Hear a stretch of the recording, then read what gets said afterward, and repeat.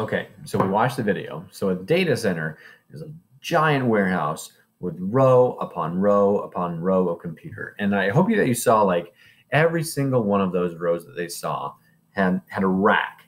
And that rack had maybe 15, 20, maybe 30 different computers in it. And I want you to think back to like uh, in the elementary when we were in my computer lab in the elementary and, and not the screen, but the, that tower that sat next to the screen. That tower, if it was just full of hard drives, those hard drives, like that one, that one computer, there was like 40 of them, 30 of them, 40 of them on this rack. And that rack went that whole entire row, row upon row. And that row repeated itself over and over and over again. We're talking these warehouses have thousands of different computers and hard drives in them, and all they do is just store information.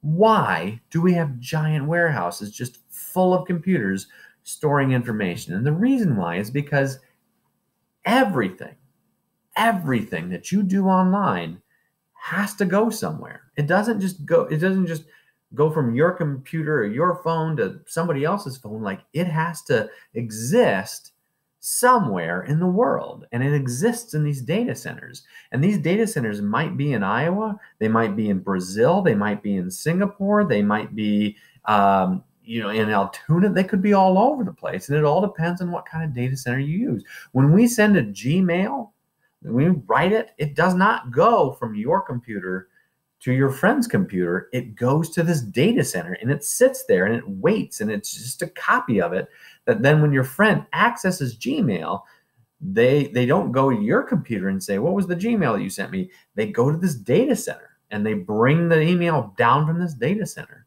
So this these data centers are huge, and actually, uh, these data centers uh, are even in our own backyard. I want to take us real quick to um, a couple of places. So first off, we're gonna we're gonna go to Google Maps real quick. Okay, and so you kind of see me pulling up Google Maps right here, and in Google Maps, um, if I can identify where we are, so here we go. So so we're here in Hartford. This is where we're at right now. Uh, raise your hand if you've been to the Bass Pro Shops in Altoona. I'm sure lots of you have been. Okay, lots. Okay, put your hands down. So in Altoona, if we kind of zoomed in here and and went to Bass Pro Shops, I'm gonna I'm gonna use Street View, which we used like in the kind of second grade here. So I'm gonna, I'm gonna street view it right here. It's gonna zoom in. So all right, so this is Bass Pro Shops, okay? But if you've ever been to Bass Pro Shops and you look on the other side of the street, you're gonna see this giant warehouse. And this giant warehouse right here is a data center and it's run by Facebook.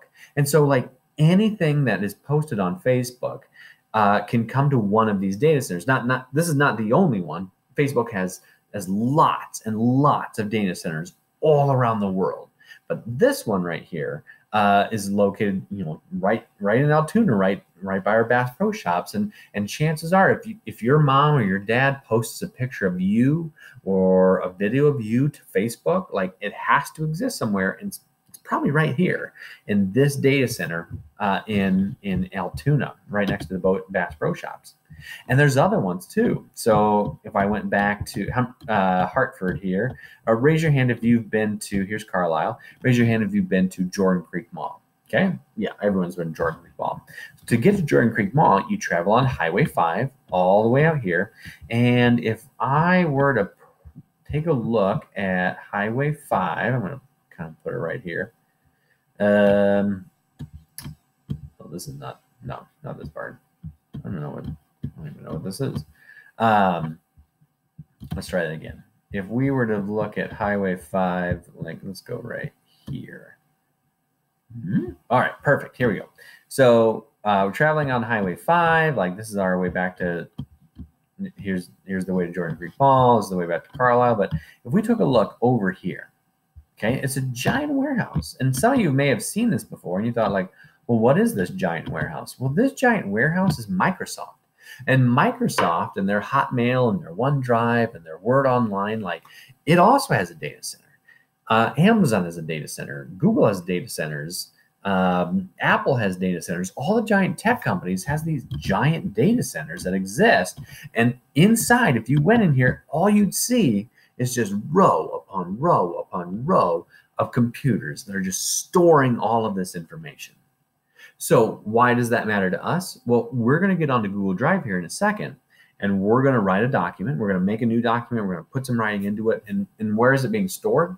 It's being stored in one of these data centers. Chances are uh, it's going to be stored in the one in Council Bluffs because that's the closest Google data center, but there's others as well. There's a decent chance that your document that you make today might be stored in Europe's data center or even Asia's data center, and that what you type and what you write today could travel around the world and back to your computer in a matter of nanoseconds, which is crazy when you think about it. So, we're going to get onto Google Drive but I want you to understand that the big thing is like when you make something in Google Drive, where is it? It's in a data center. Sometimes people call it the cloud. It's not a cloud, it's a data center, which is out in the middle of nowhere, a giant factory or a warehouse that exists. And it's just row upon row upon row of computers that store your information.